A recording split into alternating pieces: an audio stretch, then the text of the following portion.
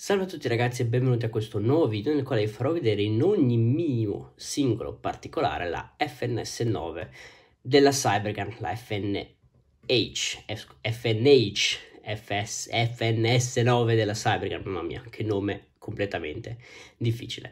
Prima di partire qualche premessina, scusate l'audio di qualità non proprio eccelsa, però sto registrando direttamente da telefono in presa diretta senza tale, senza particolari, senza particolare post produzione, anche questa luce non è il massimo, è sufficiente a farvi vedere in tutta la sua magnificenza questa replica, ma si può sempre fare di meglio ragazzi, lo sapete benissimo. Ultima premessina prima di partire, anzi ultime due, qua sotto in descrizione troverete tutti i video dedicati a questa e a tutte le mie altre repliche passate perché ho fatto un sacco di contenuti a riguardo una recensione completa, uno smontaggio, uh, una comparazione, un sacco di robe insomma. Infatti in questo video non parlerò di come performa in game, di come spara, di altre cose, ma ve la farò solo vedere, quindi non perdetevi gli altri video. Ultima premessina, mi piace, commentate e iscrivetevi. Lo so, sono noioso. Perfetto, iniziamo. Lentamente prendiamoci il nostro tempo, vediamo tutti i particolari di questa FNS9, a cominciare dal caricatore. Provo a fare movimenti lenti perché se sbatto le cose sulla scrivania vi assordo. Sul fondo troviamo il logo FN, FN Herstad, è un fondello del caricatore che non presenta la valvola del gas, perché la valvola del gas è qua. Bravissimi, ci sono voluti vent'anni di evoluzione per renderci conto che magari una valvola del gas è meglio nasconderla e non metterla in vista. Questo aumenta il realismo dell'arma incredibilmente. Qua sul fondo abbiamo i finti contatori dei colpi e la finta saldatura centrale del caricatore.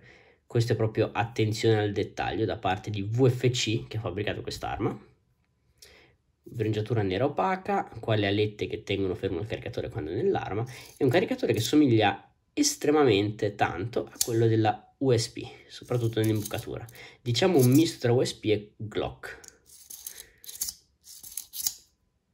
Molto molto bello, molto piacevole. Beccuccio in plastica, gommino, valvola e altra valvola per caricare. Ottimo caricatore ragazzi, non mi stancherò mai di dirlo. Uno dei migliori che abbia sulle mie repliche. Lo faccio vedere inserito. Purtroppo sentite che lo scatto per incastrare non è proprio piacevole, ne parlo nella recensione. Abbiamo un sacco dappertutto di motivi antiscivolo, qua quadrati, qua sul retro questa è gomma ragazzi, questa è gomma molto rigida, non è plastica, oppure plastica molto morbida, di come volete intenderlo. Anche qua con roba antiscivolo, questa roba è interscambiabile, io ho messo quello là, quello più grande perché mi piace di più. Si impugna un pochino peggio l'arma, però è più bella esteticamente secondo me logo FN anche qua. Qui abbiamo solite righine che abbiamo su più o meno tutte le armi. Sgancio caricatore ambidestro sia da una parte che dall'altra. Questa replica in generale ragazzi è praticamente tutta copia e incolla una parte all'altra. È completamente ambidestra molto piacevole. Sgancio caricatore.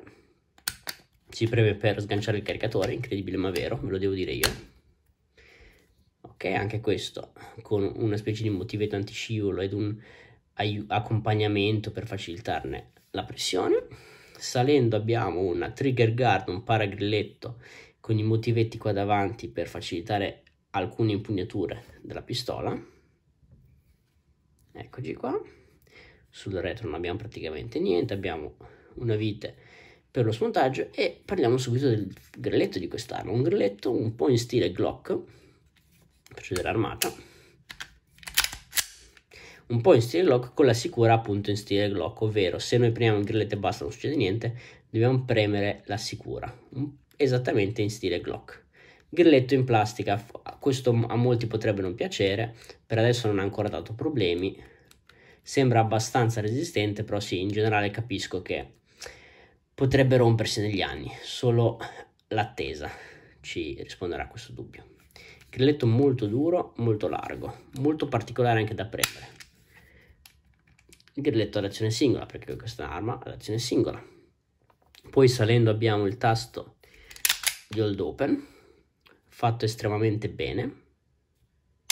Non perdetevi ragazzi il video di comparazione tra questa arma e la FNX 45 perché è, è, stato davvero divertente compararle, sono praticamente la stessa arma in calibro diverso e una doppia azione e l'altra è a singolazione eccoci qua. Questo tasto si preme molto bene, molto meglio anche di quello della FNX, piacevolissimo. Ovviamente ce l'abbiamo identico anche dall'altra parte. Poi salendo abbiamo praticamente l'unica differenza, la differenza più sostanziale tra un lato e l'altro. Questa è la leva per smontare l'arma in metallo. Anche chiaramente il, lo sgancio caricatore e l'hold open sono tutti in metallo. Questa non la troviamo dall'altra parte, o meglio, non troviamo la leva dall'altra parte. Se vi interessa lo smontaggio, come al solito, descrizione. Andando avanti, anzi prima faccio vedere indietro questa, questo piccolo beccuccio. Andando avanti abbiamo la solita slitta sotto canna con un numero di serie molto carino, uguale identico a quello della FNX. Tra parentesi, tutta la parte sotto è in plastica, mentre la canna è in metallo. E ora parliamo, eh, la canna volevo dire il carrello ovviamente ragazzi, parliamo finalmente del carrello, il bellissimo carrello di quest'arma, carrello sagomato praticamente in modo identico a quello della FNX 45. Abbiamo 9 mm FNS9, logo FN, queste questi incavi che facilitano l'armamento sia nella parte frontale che posteriore. Dall'altra parte abbiamo Made in USA, FNH USA oddio, Fredericksburg VA. Non mi credete cosa vuol dire VA perché non ho la più pallida idea. Anche qua abbiamo gli incavi per facilitare l'armamento. E faccio vedere il retro dell'arma. Qua si vede se l'arma è armata o no. Vedete il pezzo grigio? Sparo, l'arma è disarmata. Molto molto bello, piacevole.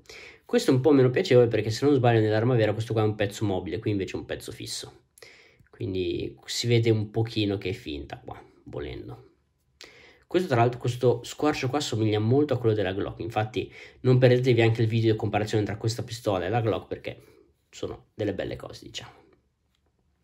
Vediamo subito le tacche di mira, molto standard, con i pallini uh, bianchi, di una verniciatura abbastanza piacevole. Questa è quella posteriore, questa è quella anteriore. Non riesco ragazzi a mettervele a fuoco tutte e due, mi dispiace. Poi faccio vedere la canna, bellissima, faccio vedere anche qua, in un metallo opaco che sembra molto pesante, molto duty, molto heavy duty. E qua abbiamo scritto 9 mm. Faccio vedere davanti, questo forse è la pecca della replica, che abbiamo una canna interna quasi della stessa lunghezza della canna esterna, quindi tende a vedersi molto, purtroppo, dato che è di ottone. Eh sì, più che difetto è così una caratteristica, ma vale la pena comunicarlo. In generale non mi piace molto il fronte di quest'arma, la parte finale, la volata, se così vogliamo chiamarla. Ok, faccio vedere che anche qua dentro abbiamo Licensed by FN Erstall e qua abbiamo un estrattore che funziona veramente. Guardate qua, è un vero componente aggiunto come quello della FNX, bellissimo. E quando l'arma è avanzata, l'estrattore sta fuori e il rosso sta ad indicare che c'è un colpo in canna. Molto molto piacevole, questi sono i dettagli che fanno la differenza. Bravissima VFC. Faccio anche vedere che uh, il cilindro, la testa cilindro per meglio dire, è a forma di cartuccia. Guardate, c'è anche proprio eh, lo scanso per l'estrattore e qua si vede poco ma si, ecco qua, qua si vede alla perfezione è esattamente a forma di cartuccia. Sto pensando di verniciare questo componente con del, della vernice per farlo diventare proprio del colore della cartuccia perché secondo me wow sarebbe davvero bellissimo. Magari lo faccio in futuro quando quest'arma non sarà più in garanzia ma penso che lo farò. Perfetto vi faccio vedere anche l'arma scarrellata dietro che non la fa mai vedere nessuno purtroppo con sto c'è un po' una merda. Qua c'è questo componente qua che si muove. Ne parleremo nella recensione dello smontaggio. E qua c'è uh, il cilindro che direttamente possiamo andarlo a toccare. Non è schermato quindi però vedete che hanno dato una forma al cilindro molto carina per evitare diciamo danni di qualsiasi tipo e che qualcosa si possa intromettere. Qui abbiamo la canna dell'arma scarrellata